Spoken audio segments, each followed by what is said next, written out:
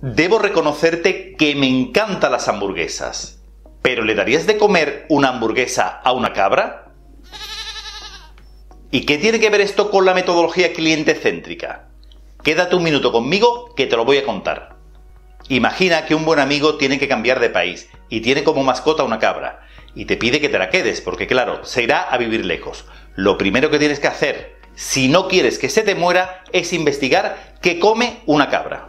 Lo primero que tendrías que hacer es, por ejemplo, una investigación por Internet y llegarías a la conclusión de que deben tomar una dieta rica en vitaminas, fibra y minerales de origen vegetal, porque son herbívoras, por lo tanto no comen hamburguesas.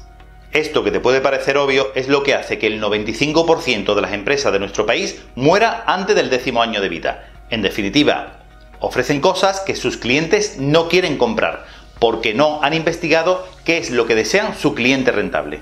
Cuando no investigas quién es tu cliente rentable y cuáles son sus gustos y deseos, corres un alto riesgo de que tu empresa muera. La empresa cliente céntrica lo primero que hace es investigar quién es su cliente rentable, cuáles son sus gustos y deseos y a partir de ahí diseñar una experiencia que lo deje sorprendido. ¿Por qué lo hacen? Porque esto provoca recompra y recomendación.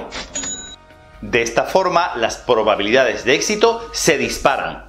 Te invito a que hagas justo esto. Ya verás cómo transforma tu empresa y sobre todo tu cuenta de resultados. Conocer a tu cliente rentable es fundamental para el éxito de tu empresa. Así no intentarás darle de comer una hamburguesa a una cabra. Hasta pronto. Si te gustó este vídeo, suscríbete, compártelo y dale a me gusta. Y si tienes algún tipo de duda, escríbemela abajo y estaré encantado de responderte. Hasta pronto.